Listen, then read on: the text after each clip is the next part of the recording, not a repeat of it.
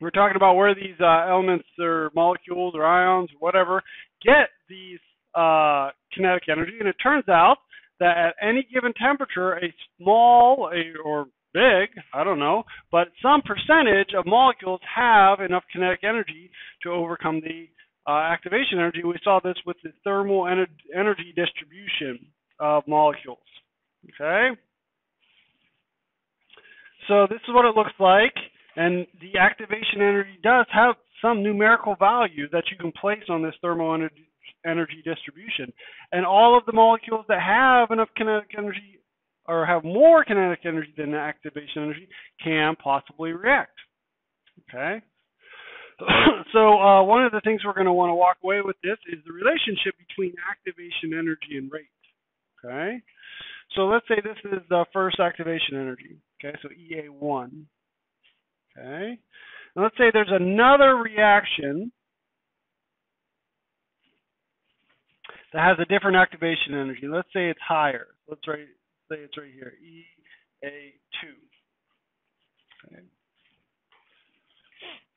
Which reaction would have the higher rate? The reaction with the first reaction with the first activation energy or the second reaction? Which one would have the higher rate? The first activation energy or the second activation?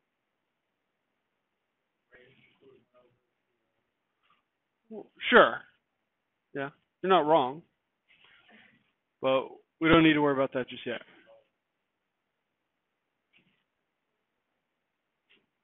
First one? Second one? Okay. so which have which one has more molecules that have enough kinetic energy? The first one or the second one? The first one. The first activation energy has all of these molecules, all these molecules, plus all of these molecules. Whereas the second one, because it has a higher activation energy, less molecules, only these molecules, only the ones past the purple line have enough kinetic energy to overcome the activation energy. So yeah, it turns out that the uh, lower the activation energy, the higher the rate's going to be because more molecules have enough kinetic energy to overcome the activation energy. More molecules have enough kinetic energy to overcome the activation energy. I think that's what I want to say. Okay, so so if we increase the activation energy, we lower the rate If we lower the activation energy, increase the rate. What type of relationship is that? Is that inversely proportional, okay? So activation energy is inversely proportional to the rate. Rather, the rate is inversely proportional to the activation energy. So rate is proportional to the inverse of activation energy.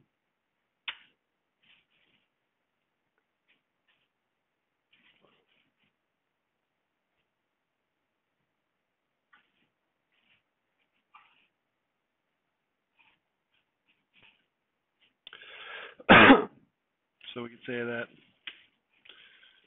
Rate is inversely proportional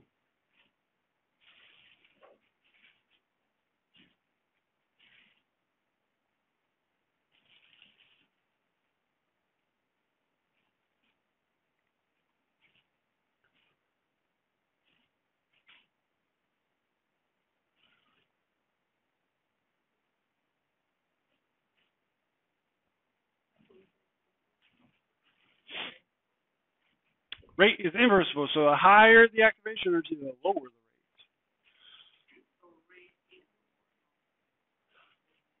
So rate is rate is inversely proportional. That's how you read that. So the higher the rate, or excuse me, the higher activation energy leads to a lower rate because less molecules have enough kinetic energy. So that's one uh, relationship we wanted to walk away with this. But another one is temperature.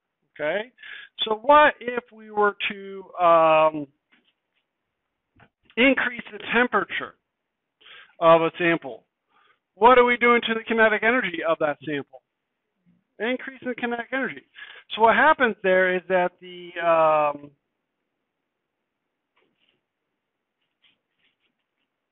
orange. when you increase the temperature of a substance, you're increasing the kinetic energy, and the thermal energy distribution shifts to higher kinetic energy. So what that happens is the whole thing will shift to higher kinetic energies. Okay.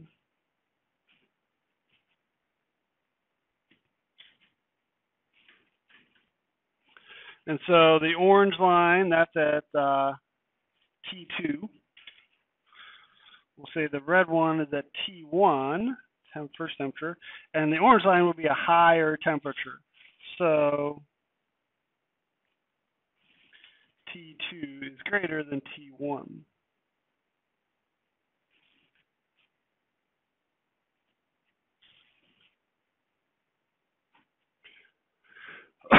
All right, so um, look what happens. Okay, if we just compare, if we just look at one reaction, so we're just going to look at the first activation energy EA1 for the first reaction. Do if we look at the orange line, do more molecules or less molecules have enough kinetic energy? More, yeah. The basically we're, we'll just the the uh, area under this curve is representative of the percentage of molecules uh, that have enough kinetic energy. So at first,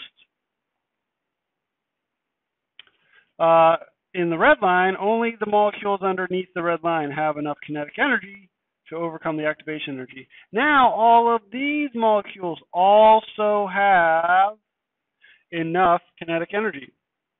So let's say, let's just make up numbers. Let's say for the red temperature, okay, if we integrated this and we found, let's just say 5% of the molecules have enough kinetic energy to overcome the activation energy. Now, with the additional ones on top of that from the orange line, let's say that, I don't know, 8% have enough kinetic energy to overcome the activation energy. So more molecules have enough kinetic energy to overcome the activation barrier. Do you think that increases the rate or decreases the rate?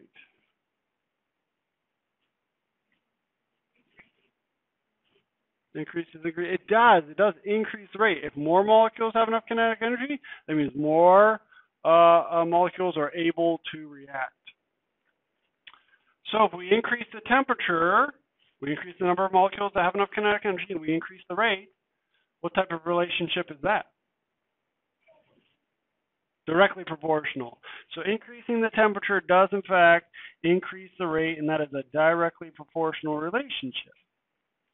So we say that temperature really we want to say rate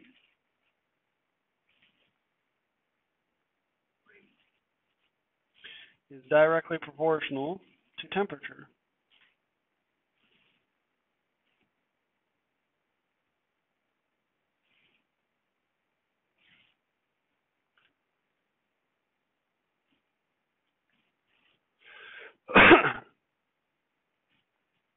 And so we can show that as rate is proportional to temp.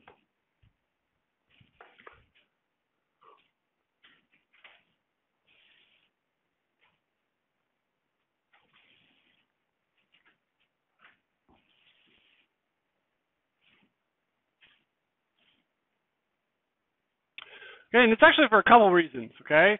So one is that more molecules have enough kinetic energy. That definitely happens, okay? What were the other things that needed to occur for a reaction to occur? What was the first one? Collisions. They need to collide. If you increase the kinetic energy, if you increase the temperature, increase the kinetic energy of a sample, do you think they are going to collide more often or less often? More often, yeah. If you give them more kinetic energy, they're more likely to uh, collide. And so that also increases the rate. Just the sheer number of collisions will increase the rate as well. Then, of course, it's the numbers game. If you have more collisions, you have more collisions with an effective collision, or more collisions with a proper orientation. So temperature definitely increases the rate of a reaction, increase in temperature. Temperature, okay, which should make sense. Okay, we utilize this uh, phenomenon every single day of our lives. Okay? Have you ever, or at least I think you do, okay, let's test. Have you ever placed a food product into a refrigerator? Have you? Yes, you probably have. No? Never? Okay. An ice box? Okay. An ice box? Okay, why do you put things in the refrigerator? To preserve them. Okay, so what what what are you preserving them against? What could go wrong? Bacteria. Okay, bacteria could grow. What else? Spoil. So or the yes, so they could spoil or bacterial growth. You know, other things could grow on it. Okay, both of those are chemical reactions. Okay, uh, spoiling is just a decomposition of the foods, the oils, the fats breaking down, um, and then bacterial growth. All bacteria are little bags of chemical reactions. Okay, and so if you want to stop bacteria from growing, you stop their chemical reactions, and you can stop or really slow down their chemical reactions by decreasing the temperature. And those chemical reactions don't happen as often. Okay. Uh, no, we're not. Uh, we're not reducing the activation energy. That would that's intrinsic of just the reaction itself. So you're not messing with that by messing with temperature. You're only messing with the kinetic energy of the molecules involved in the reaction. Okay, and so um, whenever I talk about thermal energy distribution and temperature dependence, I always think of my first year down in Florida. Okay, it's been a while, but when I first moved down here, Okay, I, I grew up in Pennsylvania, lived in the Midwest for a long time, and I moved down here, started teaching in the fall. Okay, bright-eyed, wanted to change the world. Boy, I don't know where they went. No, of course I'm changing the world. Um, so came down in the fall, started teaching in the fall, and you know about this time a year, Halloween's coming up. Turns out I love Halloween. Okay, who doesn't? Okay, Halloween. You get candy. Okay, it's even better now. I have kids. Go get me candy. Like, go walk. I'm not walking up there. Go get me candy. Okay, that's all. All right. So, anyways, so I like Halloween. Okay, I like pu- carving pumpkins. Okay, so up north, okay, in October it's a lot colder than it is here. Okay, and you can carve a pumpkin and put it outside and it will last for weeks. Okay? Uh, not so much down here. Okay? You have to do it like two minutes before like Halloween. Like so I carve a pumpkin, I don't know, week or two before Thanksgiving, put on my little stoop. Came out the next day, it was like all the goo of pumpkin juice on the stoop. I'm like, oh, what happened? Kinetics! You know, I should have known that. That temperature just you know, it just that that pumpkin had no chance. Okay, so now you can't. I, I don't even buy my pumpkins until like a week before, then put them in the fridge, keep them safe. Yeah, it's it's not bad, but you gotta show it off. Okay, my neighbors will see. My scary cat. I think it was, I don't know what it was. All right. Anyways, so yeah, temp